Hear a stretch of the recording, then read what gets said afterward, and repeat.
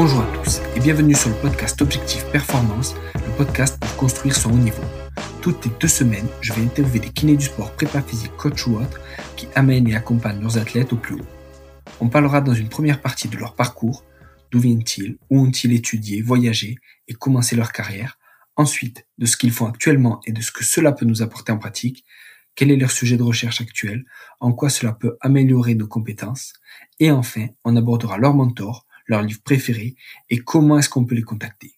Comme d'habitude, je compte sur vous pour mettre 5 étoiles à cet épisode sur nos minutes et sur Apple Podcast avec un petit commentaire.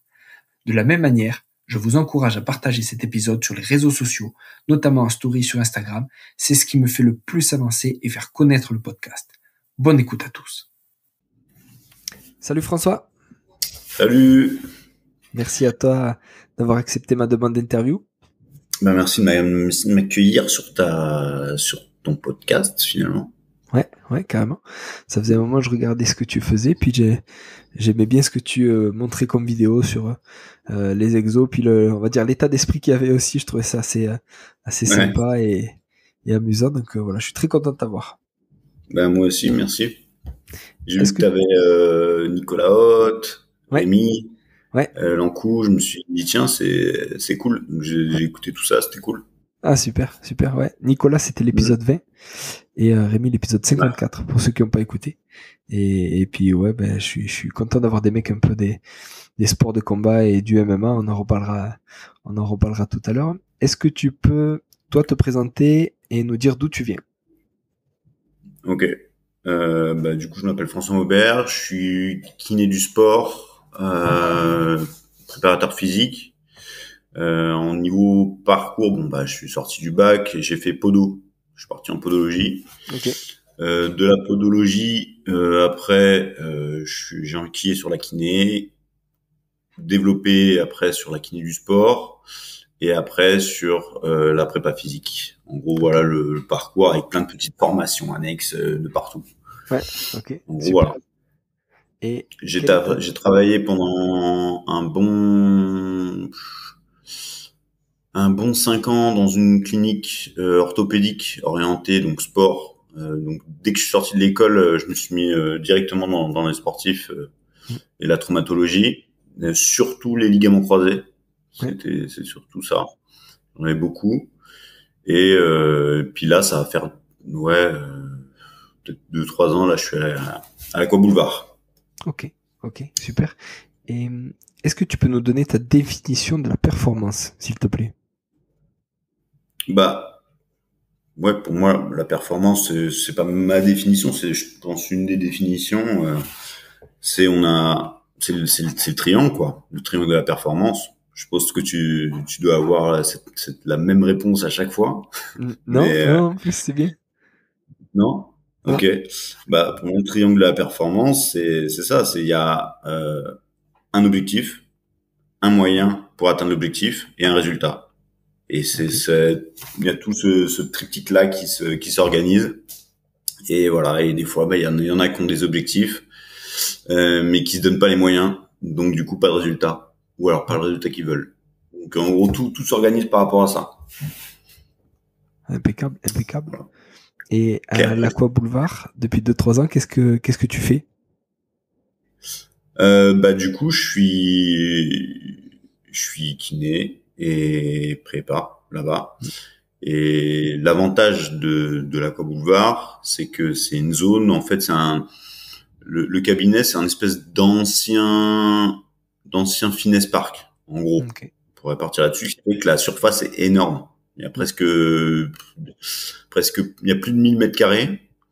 Et sur Paris, c'est super rare. Mmh. Et, euh, et, ce qui fait que bah, ça laisse le champ libre à, à mon imagination, euh, on va dire, euh, voilà, qui est débordante. Ouais. Pour mes patients et mes, mes prépas. Ouais. Et, et tu bosses tout seul?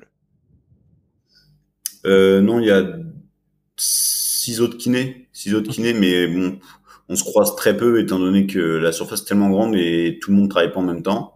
On est tous dans le cabinet orienté sport, donc ça c'est cool. On a, on a, on a des, un spécialiste tennis, on a un spécialiste handball, basket. Euh, donc euh, ça c'est cool. Et quand je suis arrivé dans l'équipe, euh, ils se sont dit ok quoi, c'est le top parce que comme on n'avait pas du tout les sports de combat. Mmh. Ah, c'est énorme. Et c'est quoi alors justement le, on va dire Moberland Est-ce que tu peux nous le définir? Est-ce que c'est c'est un état d'esprit? C'est quoi? Ouais. En fait, Moberland, ça vient d'un de mes passions qui m'a qui, qui me dit tiens mais tu, tu fais des exos j'ai jamais vu ça. Euh, c'est comment d'où ça sort ces, ces exos là et euh, et je lui dis écoute euh, c'est un peu comme Disneyland ici tu vois. Il y a des il y a des attractions y a des attractions euh, il y a certains exos bah comme je les ai vus nulle part je leur ai donné des noms voilà un peu un peu farfelu et du coup bah il l'a développé en partant sur Disneyland, il est parti sur après Moberland. Et puis de là, c'est parti. Et en gros, bah, Moberland, si on devait le résumer, euh, c'est un monde merveilleux euh, de l'antifragilité, gros, où euh, l'objectif c'est de d'arriver blessé, de repartir encore plus fort d'avant blessure. C'est-à-dire qu'il faut que la blessure, ça soit un tremplin et, ça, que, soit, et que ça soit pas un, un vide je veux que les, les, les personnes, que ce soit patients euh, ou même en prépa, quand ils passent par moi ou par Moberland, mm. je veux qu'ils sortent en ayant vraiment eu un plus et en se disant bon euh, c'était cool mais ça rentre dans les c'est un temps en plus c'est une prépa en plus ou c'est une rééducation en plus non je veux qu'ils sortent qu'ils disent wow, quand j'étais là je suis sorti j'étais une machine c'est ça le voilà c'est ça un peu le l'objectif donc on voilà, c'est une kiné qui est forcément très très active. Euh, après, euh, je, je, je délaisse pas le passif. Je, mais le passif, euh, ça représente euh, dans le corps de la séance, c'est euh, c'est un quart d'heure à la fin, quoi. C'est mm. pas c'est pas du tout le corps de séance. Okay. Sachant que je prends des sachant que mes séances, ça dure, c'est quasi sans limite de temps. C'est mm. c'est quand je quand j'ai atteint tout, enfin quand j'ai travaillé tout ce que je voulais travailler dans la séance, euh, c'est là où je, où je m'arrête. Ce qui fait que euh, une fois que le patient rentre, euh, souvent il rentre, mais il sait pas quand il sort. Donc, du coup, euh, ça, ça, peut durer une heure, ça peut durer une heure et demie en fonction de. C'est-à-dire, je compte pas, je compte pas du tout mon temps euh, hmm. par rapport à ça.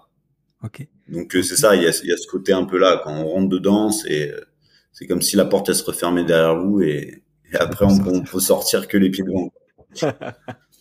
ah, c'est énorme mais pour le meilleur, pour le meilleur, pour la rééducation. C'est pas, c'est pas, ça, ça, ça m'est cher, mais je, je, je m'arrange pour que euh, le dosage soit suffisant pour que la personne, bon bah, elle soit un peu en galère le jour même, un peu le lendemain, petite courbature, mais pas trop. et euh, et après, euh, bah, ça va mieux. Et ça, bah, c'est super addictif pour le patient parce que au final, euh, au final, j'ai plein de patients qui euh, qui viennent blessés et qui après bah dérivent sur de la prépa parce qu'ils sont en mode bon bah euh, j'ai kiffé un peu l'ambiance. Mm. Ils me disent ça, ils me disent ça souvent. Ils me disent, ils me disent, je te, quand ils sortent de séance, je te remercie, mais j'ai un peu le seum quand même. je, suis un peu vénère quand même, mais je te remercie. je, suis un peu vénère si on se recroise. je t'esquive. Mais, mais c'est ça. C'est ça. Moberland, c'est ça. Ouais. C'est énorme. Et ah, tu as parlé vite fait de, de travail euh, passif. Est-ce que tu le mets à chaque fois à la fin? Et en passif, qu'est-ce que tu fais? Ah non, pas forcément à la fin. Ça Je m'adapte à, je m'adapte à chaque patient et je m'adapte à chaque séance. Donc euh, voilà, si j'ai un ligament croisé, euh, on va dire à 4 mois, et qui me dit bon bah là, je sens le genou il commence à, je sais pas, il, commence à me faire un peu mal la nuit, là, il commence à, ça s'enflamme un petit peu. Boum, je diminue et là je pars sur du drainage, euh, la séance très cool, drainage manuel, mobilisation, enfin des trucs passifs quoi. Mmh. Puis voilà, après des fois bon bah j'ai des, manips de, de, thérapie manuelle classique quand la personne a dit bon bah là je, ça va, ça va mieux mais petit blocage derrière, je tourne la tête, je comprends pas, ça bloque un peu. Bon bah là on part sur du passif mais euh, j'évite absolument de mettre le patient directement sur du passif, surtout les, les trois premières séances en général. pour pas les rendre dépendants. C'est-à-dire, Mhm. je veux vraiment les rendre autonomes. Donc, euh, c'est ça aussi la ma façon de bosser, c'est-à-dire que le but, c'est que le patient, il soit autonome. Je veux pas, je veux pas être euh, qu'il devienne dépendant de moi. Je veux que s'il revienne, c'est parce que il aime l'ambiance, il aime le truc, mais euh, qu'il soit pas en mode euh, bon bah j'ai besoin de toi. Mhm. Donc, euh, je m'arrange toujours la première séance. Je donne tous les outils pour que le patient il puisse se gérer euh, par lui-même, de, de son côté. Stylé. Bon, voilà. Et tu as pour projet d'ouvrir un nouveau cab, c'est ça?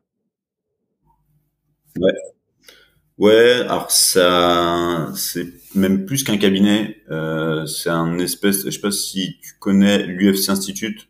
Ouais. Ça te parle? Ouais. En gros, c'est un, c'est aux États-Unis, il y en a en Chine, il y en a au Mexique. En gros, c'est un, c'est un pôle comme un mini INSEP Mm. orienté pour le combattant. Et donc, euh, bah là, l'objectif, ça serait de euh, réunir euh, donc kiné, prépa, médecin, nutritionniste, prépa mentale et toute une zone un peu spa, relaxation et toute une zone de gestion du poids avec des, des, des saunas, des balances, des choses comme ça. Donc tout ce dont le combattant a besoin euh, pour, pour, pour, sa carrière en fait.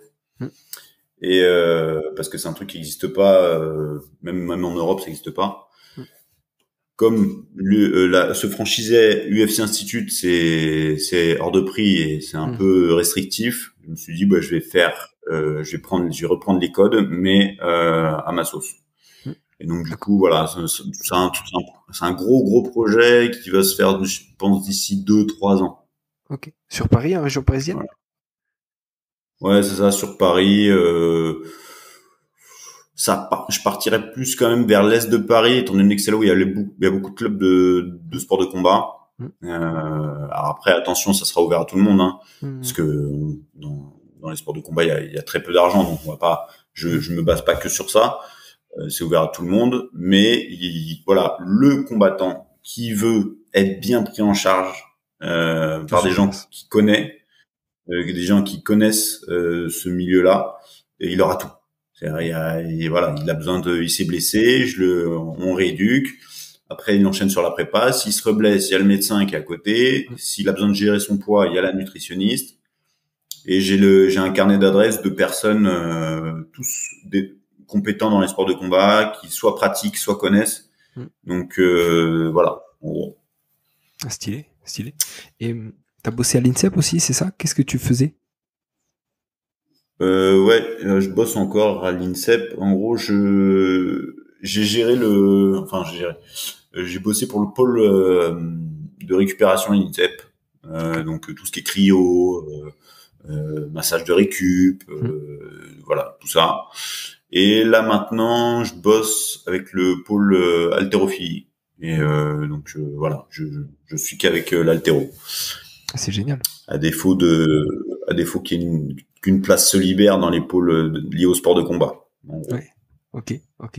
Et est-ce que, à trouves des... l'INSEP, on choisit pas trop où on va. et est-ce que tu trouves des transferts entre l'altéro et les sports de combat?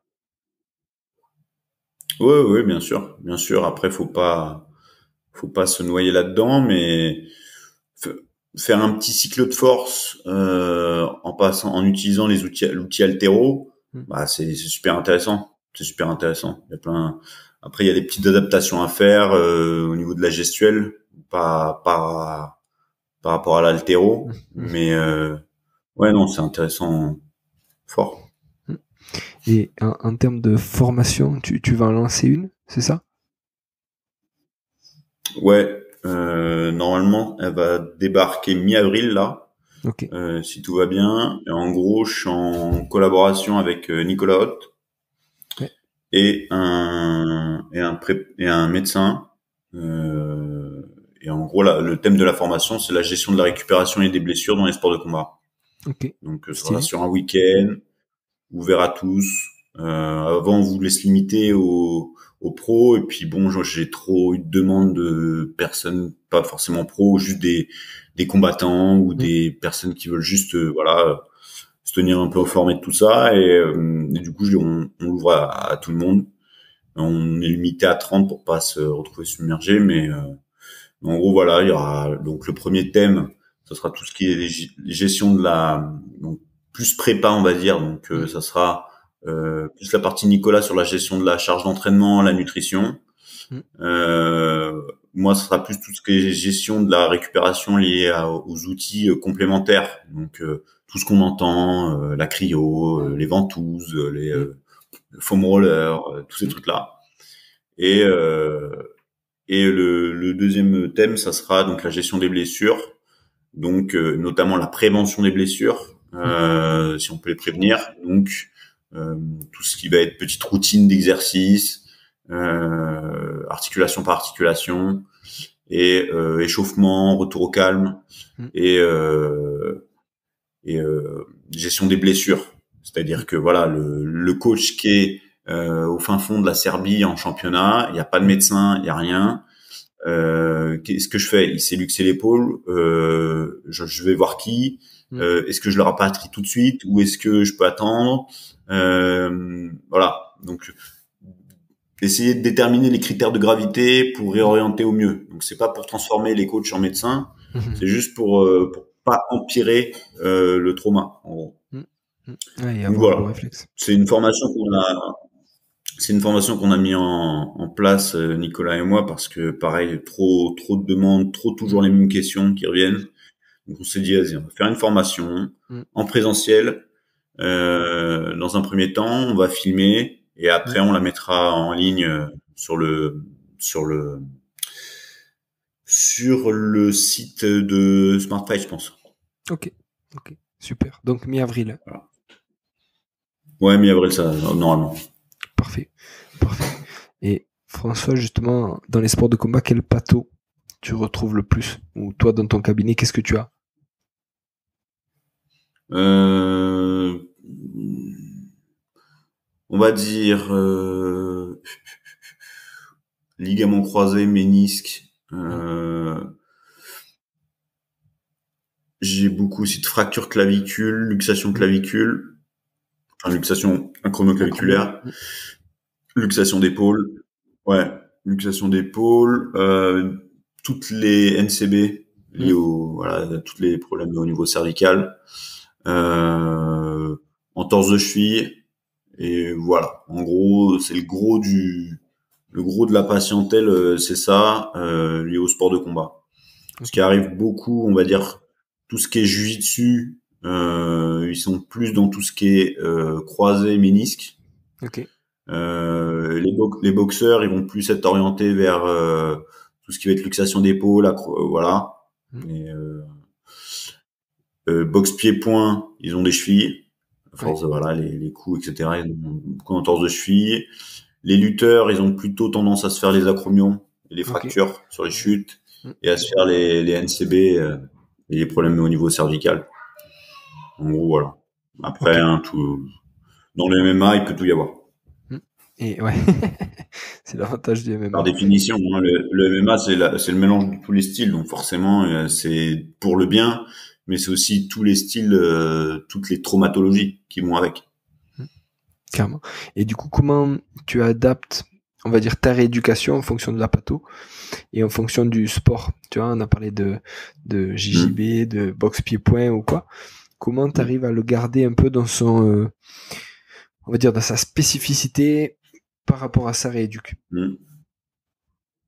Bah, au niveau euh, aigu, il n'y a pas de spécificité. On est, on est de, tous des humains, quel que soit le sport pratiqué, ça reste un humain.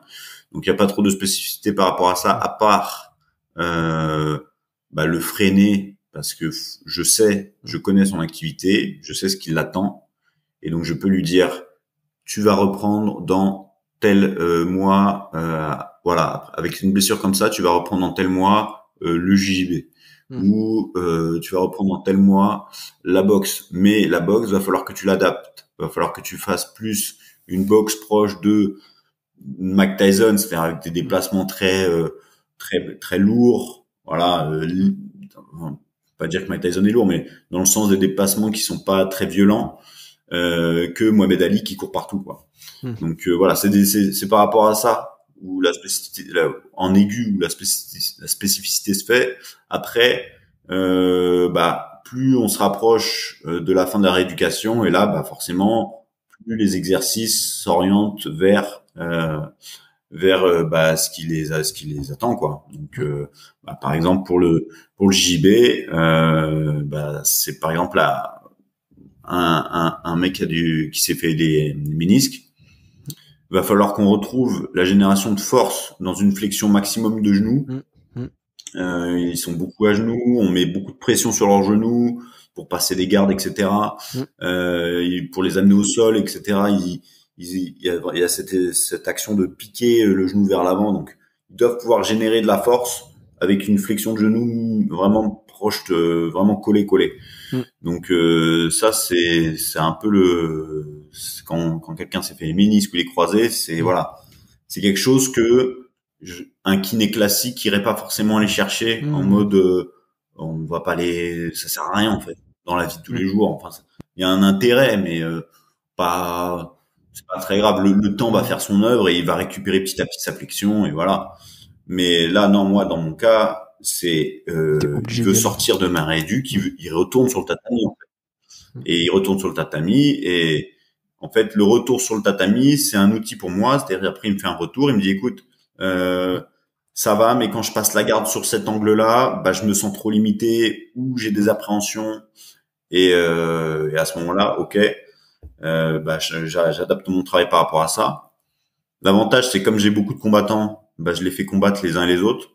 C'est-à-dire que les, les, les patients, euh, voilà. Et, et comme j'ai des stagiaires qui aussi se, savent se battre, du coup, je l'ai fait tourner avec les stagiaires. Mais euh, voilà, ciblé sur les déficits euh, du patient. Et voilà, le, le, côté appréhension, comment faire lever l'appréhension du patient par rapport à son genou, euh, si on connaît pas JB, c'est mm. impossible. C'est on dans, dans le foot, c'est quelque chose qui est connu. Mm. On est on, on, est vachement formé là-dessus dans les sports co et tout, mais JB, si on pratique pas, impossible. La plupart du temps, euh, on parle de JB un médecin, il va parler, il va, il va dans sa tête, ça va être judo. Non, ça n'a rien à voir. Mmh. Je parle du JB, c'est la même chose pour la boxe. Hein. Et est-ce que tu retrouves des, euh, tu vois, on parle du JJB, est-ce que tu as des blessures, on va dire, typiques à cause des clés ou des fois je te vois mettre des trucs là-dessus où tu vois un combat et où le mec en fait s'arrête pas et va jusqu'à péter euh, son adversaire quoi. Et donc est-ce que tu retrouves des trucs comme ça et Ouais. parler aussi d'appréhension. comment tu le gères après sur un, combattant qui est blessé à cause de ça? Bah, c'est ça. Les, types de blessures, euh, oui, c'est lié aux clés. Hein, le principe du jiu-jitsu, en l'occurrence. Après, c'est dans tous les sports de préhension euh, mm. à clé. Donc, grappling, jiu-jitsu, judo, etc. Dans tous ces sports-là, le but quand même, c'est de faire, de soumettre son adversaire en lui faisant une entorse. Concrètement, c'est ça, ou en lui luxant une articulation. Donc, quand on explique ça euh, à certains médecins, ils disent mais pourquoi en fait, Pourquoi vous Je comprends pas. Pourquoi vous faites ce sport? C'est quoi l'intérêt en fait? Donc bon, mais euh, donc forcément, si on rajoute à ça un petit peu d'ego humain et un petit peu euh, d'agressivité, euh, voire un, des petits soupçons de produits dopants, euh, mm. on va pas se mentir. Mm. Euh, bah des fois, qu'est-ce qui se passe? Bah le mec tape pas ou non non je lâche pas mm. euh, parce que bon, en compétition de grappling, il y a un truc qui est quand même euh, quand j'ai quand j'ai vu ça, j'ai halluciné. En gros, s'il y a deux adversaires, ils sont égaux. Il y en a un des deux, euh, il lance pile ou face. Il y en a un des deux qui se met dans une position défavorable par rapport à une clé. Donc voilà, clé de bras par exemple. Ouais, L'autre, il est position favorable et l'autre qui est en position favorable a 10 secondes pour faire soumettre l'autre. Oh putain. Donc qu'est-ce qui se passe? Bah, Le gars, il joue son combat. Mais il tape pas. Il tape pas. Il y a 10 secondes. Il a juste à tenir 10 secondes. Il tape pas, il arrache, il tient. Bah, forcément, il se retrouve avec des, des trucs qui sautent, des luxations, des... Donc voilà. Donc, euh, est-ce qu'il y a une traumatologie spécifique dessus dans mon cabinet? C'est beaucoup euh, ménisque, euh, croisé, euh, voilà, beaucoup ça, cervical, mmh. euh, sur les NCB, liés aux étranglements et puis aux mmh. appuis avec la tête. comment après je lève l'appréhension? Mmh. bah, C'est comme je disais, soit je fais tourner les combattants entre eux, mmh. euh, mais dans le cadre médical. C'est-à-dire, voilà, c'est, je lui dis, toi, tu vas te mettre dans cette position-là, et mmh. toi, tu vas te mettre dans cette position-là, et tu vas l'empêcher, voilà, doucement, c'est ça. Et puis j'encadre, je ne laisse pas tout seul. Soit je le fais tourner avec des stagiaires, ou au stagiaire, je lui dis, voilà, il faut que tu lui fasses travailler, ça. Voilà, c'est dans un cadre complètement sécurisé, mais face à des personnes qui connaissent. Et donc, du coup, ben, on lève petit à petit les appréhensions comme ça. En gros, voilà comment je gère. Ça doit être un, sacré challenge parce que, entre guillemets, ça doit progresser vite au début. Et après, quand tu dois être dans des amplitudes extrêmes qui doivent te rappeler le, mouvement euh, qui t'a fracassé, qui t'a fait faire, je sais pas combien de semaines chez Moberland, là, tu vois, euh, dans ta tête, ça doit bien, bien travailler quand même. C'est ça. Mm. C'est ouf. Ah ouais, bah c'est c'est ça. Hein. C'est c'est pour ça que on est obligé de de, de remettre le, le personne dans le rouge. Et j'ai développé euh, des renforcements spécifiques à certaines clés aussi. Mm. Ah, ça c'est balèze aussi. Mm. Et Donc euh, les, personnes, forcément, quand quand ils quand ils apprennent à quand ils apprennent à générer de la force dans une amplitude extrême, bah, quand ça arrive, ils gèrent quoi. Et tu nous parles alors justement de prévention euh, spécifique pour les clés. Comment tu fais? Est-ce que tu fais de l'isométrie sur des amplitudes extrêmes ou comment tu hmm. bosses? Ouais, c'est ça. En fait, je fais, j'utilise le, le concept FRC en fait. Hein. Ouais. Le FRC, euh, bon, c'est la version américaine euh, de la vieille version française du contracteur lâché, mais mais en gros, ouais, c'est ça. C'est générer. On sait très bien qu'en générant de la force dans le dans le dans l'amplitude extrême, automatiquement le niveau de confiance il va jouer aussi quoi. Carrément. Et... Donc euh, donc voilà. En gros, euh, ce que je fais et euh, et puis faire tourner euh, avec avec les autres aussi, ça aide à lever pas mal de pas mal d'appréhension. Ouais, ouais, parce que tu reprends confiance du coup. Bah c'est ça, il reprend confiance, il voit qu'il a de la force. Euh, comme j'ai la j'ai la chance d'avoir plusieurs gabarits différents, bah je peux le faire tourner avec des gros. Et euh, il se dit bah ouais, dis donc j'arrive à j'arrive à tenir euh, même sur ça, ok, bon, top. Donc voilà. Top. Et sur les soins de récup, euh, quand tu participes, alors tu participes régulièrement au championnat du monde de MMA, tu t'occupes aussi du Muay Thai comment, quels soins de récup tu fais entre les combats? Ouais, bah je bosse ouais pour pas, pas pour pas mal de fédés là. Je bosse pour euh, box Thai, enfin Muay Thai, kick, boxing, MMA et grappling. Et euh, ça fait les championnats d'Europe et du monde à chaque fois. Hmm. Et là, bah, je pars euh, semaine prochaine pour le Monténégro avec la boxe anglaise. Ah, énorme. Et en, et en gros, euh, la gestion de la récupération, elle dépend, un, euh, la discipline, elle dépend du lieu euh, où on est, euh, donc elle va dépendre de tout ça. Par exemple, euh, championnat euh, de boxe thaï en Thaïlande, on a accès à de la glace, on a accès à des à des poubelles. Euh, donc, bah, je fais des en sortie de ring directement, ça part ils enchaînent direct bain de glace. Et, euh, et après, euh, petite activité légère pour euh, revasculariser un peu l'ensemble. Et euh, ça part sur une bonne hydratation, une bonne nutrition, et ça retourne à l'hôtel pour aller dormir. Quoi, ok. Donc euh, voilà. Après, si je suis en Serbie euh, pour un, le championnat de grappling. Il se hmm. trouve que les, le championnat de grappling, c'est euh, ça peut aller jusqu'à cinq combats dans la journée pour la même personne. Donc du coup, euh, le temps de récup entre chaque euh, chaque euh, chaque combattant, entre chaque combat, bah ça peut aller de 20 minutes à une heure. Donc là, ouais, donc du coup, bah là, on va surtout gérer la gestion de la euh, tout ce qui est bon hydratation euh, avec une petite boisson d'effort. Mm. Euh, on peut partir sur un peu un état, on se met aussi en état méditatif pour faire redescendre un peu, euh, pour se mettre un peu dans un état un peu parasympathique. Donc on part sur de la respiration, voilà, un peu de relaxation Mm. et gestion de tout ce qui va être congestion musculaire. Donc Mm. j'utilise euh, le flossing. J'utilise le flossing, euh, donc les, des, des bandes euh, élastiques là qui permettent de vraiment de comprimer euh, un effet vasculaire assez puissant. Euh, Oui. C'est très court, c'est très efficace. Ok. Donc euh, j'utilise le flossing, euh, j'utilise les massages. Euh, voilà, si si euh, si en sortie de combat il me dit waouh j'ai j'ai j'ai pris une méchante clé là, je sens que j'ai une contracture qui s'est mise euh, de Mm. défense. euh, voilà, j'essaie de l'enlever. Euh, voilà, en gros. Donc ça dépend vraiment de, de la localisation, parce que euh, en Biélorussie, par exemple, bah, il y, a, j'ai- il y a pas d'accès à la glace, Ok. euh, et du coup, euh, bah, les bains froids, c'est mort.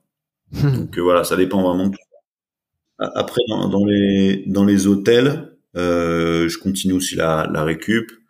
Euh, dans les hôtels, il y a souvent des soit des saunas, soit des euh, jacuzzi, euh, des choses comme ça. Donc souvent, je peux je peux faire un peu de balnéo, leur faire faire un peu de voilà du du watsu. Je sais pas si tu vois ce que c'est, le watsu.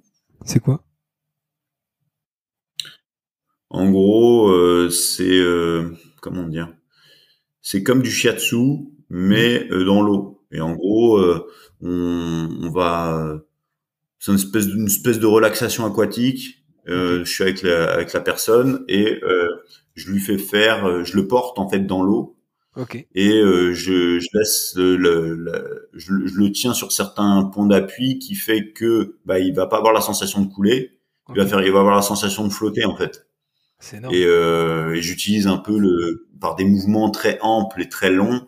Bah, il y a un espèce de mou- mouvement un peu de serpent euh, de l'ensemble du corps. Et ça, les, les, les gens, ils, ils aiment bien en général. Ça, ça relaxe bien. Ouais. Et ça permet de li- enlever les tensions euh, tout en douceur, quoi. Ça a l'air énorme. Et je voulais avoir ton avis aussi, François, sur le développement du MMA en France. Qu'est-ce que, alors, euh, euh, peut-être deux versions en, en tant que passionné déjà, toi, et, et pratiquant. Qu'est-ce que ça te fait que ça Ouais. se développe? Et après, en tant que ben, kiné et prépa physique, euh, qu'est-ce que tu en penses? Bah ouais, la, la légalisation du MMA, elle est arrivée en 2020. Euh, J'étais déjà sur les championnats euh, MMA Mm. avant, la- avant sa légalisation, donc c'était un peu absurde parce qu'en fait on, on accompagnait les, ce qu'on n'appelait pas l'équipe de France, on appelle ça le comité français comme on n'était pas, comme c'était pas légal. Ouais. Et on allait, euh, on allait faire des championnats et on faisait des médailles euh, dans Mm. le, dans le, dans le, comment dire le, le secret le plus total. Ouais. Et euh, et il y avait un, un, un niveau énorme. Et pourtant, bah, on était, on était déjà là-bas et c'était déjà très bien structuré. Après, le MMA c'est légalisé, donc ça c'est cool parce que là, on va commencer à avoir des financements Mm. pour payer le staff. Oui. Et un encadrement euh, bah, de qualité euh, avec la fédé de boxe, euh, que c'est elle qui, qui chapeaute ça encore. Mm. Donc, euh, donc ouais, non, c'est top que le que les MMA se légalise et euh, et surtout, euh, bah ça a ouvert la porte aux événements pro en France Hmm. euh, de qualité et ça ça c'est cool quoi. C'est cool. On était le dernier pays euh, à être en- à la ramasse, donc euh, c'est cool que là on soit on soit mis d'écart là-dessus. Et, euh, et ouais, non, c'est top. C'est top parce que forcément, bah, moi, ça me draine une population qui m'intéresse. euh, ça ouvre le MMA aux pros, mais ça ouvre le MMA aux amateurs aussi. Et, euh, et ça me draine une population en prépa physique qui m'intéresse. Euh, je vais pas dire euh, que ça me draine une population de patients, mais c'est un Mm. peu vrai aussi. Ouais. Forcément. Donc, euh, les amateurs, ils ont, ils voient l'UFC à la télé, ils se disent tiens, je vais faire pareil. euh, ils, se, ils se mettent, ils se mettent des entraînements de l'espace euh, et bien sûr avec aucune gestion, euh, aucune gestion de la charge d'entraînement, donc forcément ça se blesse. Et euh, avec un encadrement qui est qui est des fois un peu moyen et Mm. et, euh, et ça se blesse et ça se retrouve chez Moberland quoi. C'est- bien, c'est bien. Et alors, est-ce que tu peux nous expliquer sur une, une semaine ou une journée type comment tu, tu bosses, à quelle heure tu attaques et à quelle heure tu termines à peu près? Bah, je me suis calmé parce qu'à un moment, euh, c'est le problème d'être passionné par son métier, passionné par ce qu'on fait. À un moment, je travaillais de 9h à 21, 9h, 9h, quoi. 9h, 21h tous les jours, euh, le samedi aussi. Hmm. Euh, et puis bon, après, j'ai, ouais, j'ai pas fait un burn-out, mais presque quoi. C'est-à-dire que je, dans dans ma vie, il y avait il y avait que ça et il y avait que mes mes potes, c'était mes patients. Euh, hmm. Enfin, ça, ça, ça, ça, devenait n'importe quoi. J'avais plus de temps pour moi. Hmm. Et du coup, bah, je me je me suis libéré des des matinées. Là, par exemple, je, voilà, on est mercredi, j'ai fait un jour off. J'ai fait un jour, je fais des jours off euh, le mercredi pour me faire une petite coupure dans la semaine. Mmh, Puis sinon, bah, c'est du 9h euh, quand même euh, le, le, le lundi, le mardi et jeudi, vendredi, bah, c'est du 9h, 9h. Et, euh, et le samedi matin, du 10h, 13h, quoi. Donc euh, voilà, j'ai réduit un petit peu. Là, je pense que je vais encore réduire parce que j'aimerais bien me remettre à m'entraîner mieux, plus en tout cas, dans un éventuel, on verra, euh, combat euh, en 2024, euh, voilà, milieu 2024, j'aimerais bien ça. Ok. Donc je vais me libérer du, du temps, voilà. Ce serait énorme. En gros. Top, top. Ouais. Et est-ce que tu as des mentors ou des gens qui t'inspirent? Euh, Pas en kiné. En kiné, euh, franchement j'ai l'impression que plus on acquiert d'expérience, euh, moins on s'intéresse à son taf, moins on se forme. Euh, enfin, j'ai j'ai beaucoup, j'ai côtoyé beaucoup de d'anciens kinés et ils donnent pas envie, hein, vraiment. Donc du coup, euh, non, non, non, non, j'ai pas de mentor en kiné. Après en prépa physique, ouais, ça, il y en a déjà, il y en a déjà pas mal. Bah Nicolas, Nicolas Haute, déjà, il est, j'aime bien ce qu'il fait, j'aime bien son approche. Euh, c'est aussi pour ça qu'on collabore ensemble, hein, c'est parce mm. que voilà, on est on est un peu dans la, dans la même veine. Euh, et après, j'aime bien, ben, en, en, français, euh, il y en a un qui est pas du tout très peu connu parce qu'il est pas médiatisé, c'est Jintas. Euh, Jintas, c'est un préparateur physique euh, ukrainien, je crois, euh, qui attrape et euh, il est, c'est une, c'est une machine de connaissances, euh, que ce soit en prépa physique euh, ou euh, ou ou MMA. Il a été combattant. Et je, je, crois qu'il fait partie des premiers premiers prépa physique orientés sport de combat en France, je pense. Mm. Et vraiment, c'est une, c'est un puits de science. Il donne des formations. Il, il est très ouvert. Et, et voilà. Donc il m'a il m'a vraiment j'ai vraiment kiffé ce qu'il m'a appris. En américain, j'aime bien Phil Darou. Euh, Phil Darou, je, discute souvent avec lui. Il est très ouvert aussi et il a une approche euh, euh de prépa très EBP, donc c'est cool. Euh, il est très voilà basé sur la science. Euh, euh il est pas, il, il, il, fait pas forcément ce que on a l'habitude de voir partout. Donc donc mm. c'est cool. J'aime bien les j'aime bien les gens en fait qui se grattent la tête et qui se disent ok il y a ça, mais euh, est-ce qu'on peut pas améliorer? Est-ce qu'on peut pas faire plus? Est-ce qu'on peut pas faire mieux? Est-ce qu'on peut pas faire avec autre chose? Voilà, ceux qui rentrent dans les codes et qui font euh, finalement ce que tout le monde fait, ça me voilà, je me dis ouais, ok, et mmh. voilà. Top, top. Et comme livre, euh, des livres qui t'ont marqué en, en prépa, en kiné ou, ou autre, qu'est-ce que tu as? Bah en livre, euh, en livre, il y a les deux, les deux livres là qui, qui, qui sortent un peu, euh, qui, qui viennent de sortir et qui, franchement, c'est c'est c'est du c'est un du gros level. Mm. C'est chez Fort Trainer. Il y a bah, l'encyclopédie de la préparation physique. Euh, qui est en fait une traduction d'un livre de la National Strength and Conditioning Association qui est euh, qui est vraiment un, bah, c'est le, c'est en gros c'est l'école de la prépa physique mondiale. Et euh, ils ont cette cette cette, cette école euh, a sorti un bouquin et euh, Fort Trainer l'a, l'a fait traduire. Euh, et bon, bah, c'est une mine d'or d'informations qui touche tout de A à Z hmm. sur que ce soit la récupération ou la l'entraînement à proprement parler. Après, en deuxième bouquin, pareil chez Fort Trainer que que j'ai bien apprécié, c'est euh, la force de la science au terrain euh, de euh, alors l'auteur euh, pareil ça a été une traduction hein, d'un livre qui existe déjà mais qui est vraiment une, une bible pour pour tout ce qui est toutes les personnes qui sont intéressées par le développement de la force, de l'hypertrophie, mm. tout ce qui touche autour du muscle en fait. C'est un mélange de science et de, et de prépa physique euh, de terrain, donc c'est vraiment cool. Et l'auteur, c'est euh, c'est des noms à coucher dehors. Euh, Zatsiorsky et Kramer et Fry. Voilà, Kramer, Fry et voilà, ça c'est euh, pour moi c'est vraiment moi à chaque fois on me demande quel bouquin prendre. Euh, vraiment ces deux bouquins là, c'est euh, pour que ça soit un kiné ou un prépa, c'est la base. C'est vraiment la base quoi. Top. Et François, alors si les gens qui nous écoutent, ils veulent te contacter ou venir à Moberland, où c'est qu'on peut, par quel biais on peut le faire? Bah, le, le, il y a le, il y a Doctolib, hein, tout simplement, euh, par Doctolib.